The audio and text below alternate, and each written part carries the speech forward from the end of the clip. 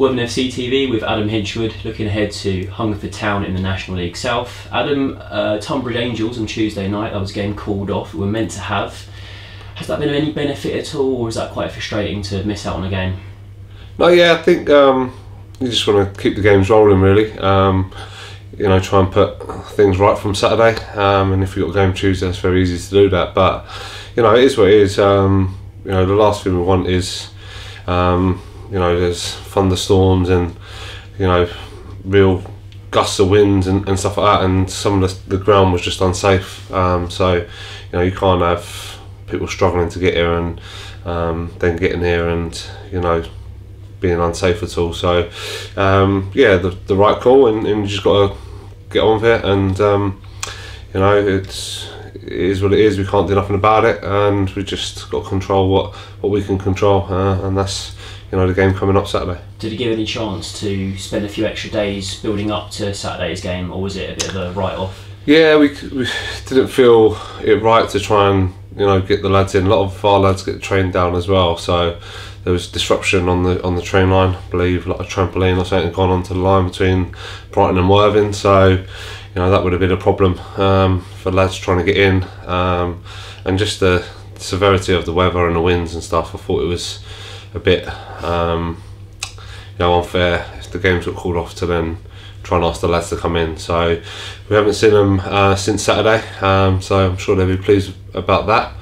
Get a little rest from me, um, but no, it's an opportunity for me to go and watch some games. When I watched Portsmouth v AFC Wimbledon, and been out and watched a, a, few games this week, which has been nice, something a bit different, and you know, content, continue my learning, but also get out and see a few players as well. Yeah, good, and it's a good opportunity for you, obviously, to yeah see a bit more football as well. So looking into Saturday then, and obviously the first day for training is today for it. But what are you hoping to take into it, and what are you hoping the players can bring? Um, yeah, we'll obviously analyse uh, Saturday's um, fixture um, against Slough. Um, you know, and there'll be lots of positives in there to, to take. Um, you know, we are getting some good areas, creating some chances. Um, got to look at what it looks like um, when the game sort of changes. There's a few sort of teams that have mixed up the game at half time, and we've struggled to sort of adapt. Um, so we've got to, you know, see what that looks like and, and work on that, um, which, which we'll do um, and yeah, just see what sort of personnel we've got available to us really. So we've, we've been missing a few as of late. Um, so yeah, we just assess them, see where they are, and, and see who we've got available for Saturday. And speaking of who we've got available Saturday, is there any injury news or team news? Obviously, Harrison Mell's been missing lately. Yeah. Any um? Yeah, he's going to do some handling that tonight, so we'll see how he sort of gets on with that. And providing he's got full range and everything, then we're hopeful he'll be okay for Saturday.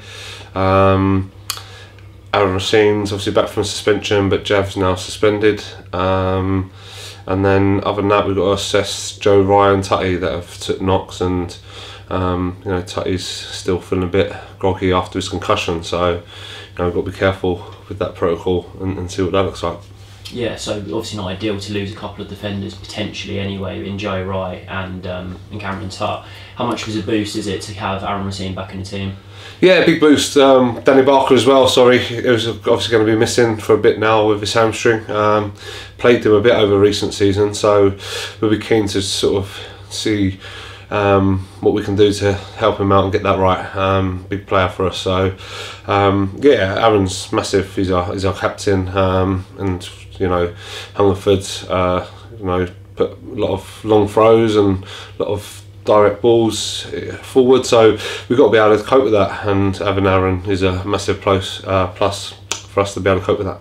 Talking of another experienced defender for us, Joel Colbran, is there any word on his recovery at the moment?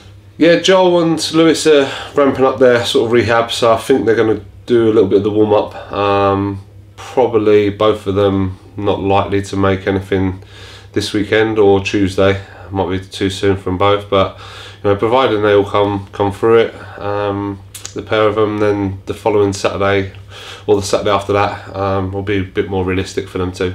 Um, but you know, it's great to have them with their boots on and out there training with us. That's a massive, massive boost. Yeah, it'd be good to see them back in a Worthing shirt soon. And you mentioned there about longer throws and a few more direct bits of play from Hungerford you're expecting. How do you expect to adapt with that, and what sort of game are you expecting uh, on Saturday?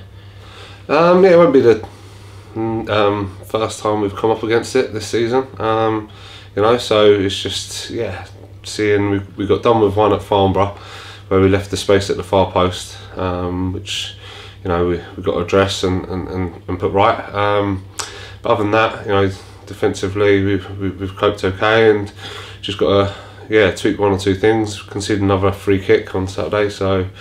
Um, just look at look at that and, and see what we can improve on in, in that aspect and um, yeah just just fine tune it and, and, and see um, you know firstly who we've got available and then how we're going to cope with um, you know the threat that they, they possess